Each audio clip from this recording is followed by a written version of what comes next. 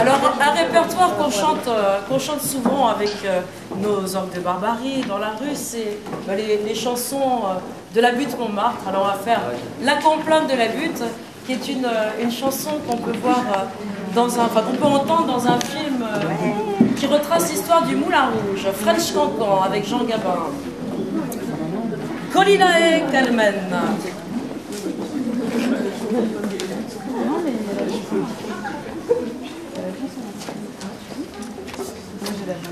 Vous la connaissez celle-là, la complainte de la butte Ça vous dit quelque chose Peut-être que l'heure vous, vous rappellera quelque chose. Hop.